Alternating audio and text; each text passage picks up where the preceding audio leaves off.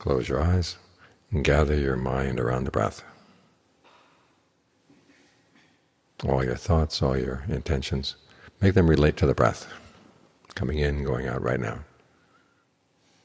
Give the mind a grounding. Give it a good foundation. It's when the mind is well grounded that it can see things more clearly. After all, that was how the Buddha found the truth, was by grounding his mind, getting it solidly here in the present moment, and then observing the mind, observing cause and effect. And one of the things he learned was that true happiness has to come from your own actions. At the beginning of the new year, we want to find happiness. We want it to be a happy new year. We realized that the Buddha was right. that happiness has to come from your actions, particularly your skillful actions. He set out three. Generosity, virtue, meditation. Well, it's interesting with the meditation, he also defined it as restraint. In other words, keeping your mind under control. Restraining it from doing anything that would be out of line with the qualities you have to develop for the mind to be really skillful. We start first, as he said, with heedfulness. That is the basis for all skillful qualities. Realizing that our actions will make a difference. If we're careless, we can cause a lot of trouble. If we're careful, we can avoid a lot of that trouble. And if we have goodwill for ourselves, then we want to avoid trouble. We care.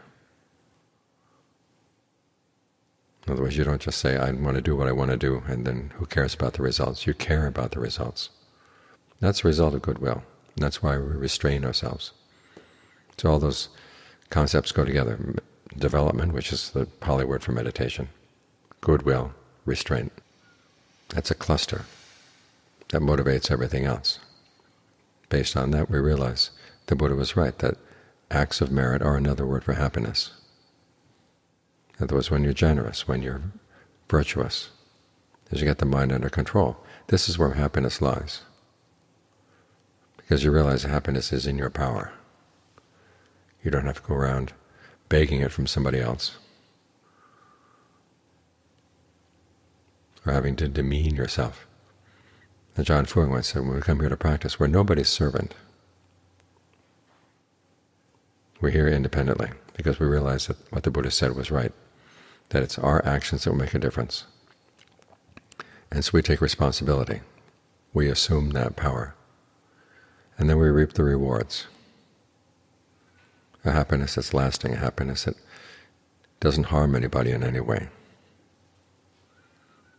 That's the kind of happiness you want for a Happy New Year. Now, as for things outside, whether they be good or bad, that's a lot of that is beyond our control. But we can control our actions. We can make up the mind that we're going to do only skillful things. Anything that's unskillful will stay away. That's a decision we can make, and that's a decision we can stick by. So when you think about a Happy New Year, look inside. And come and look at what the Buddha's recommendations are for trying to find true happiness. And you find that he's right, that it is possible to find a happiness that doesn't harm anybody, and that your search for happiness can be a gift not only to yourself but also to others. When you search for happiness in a wise and responsible way.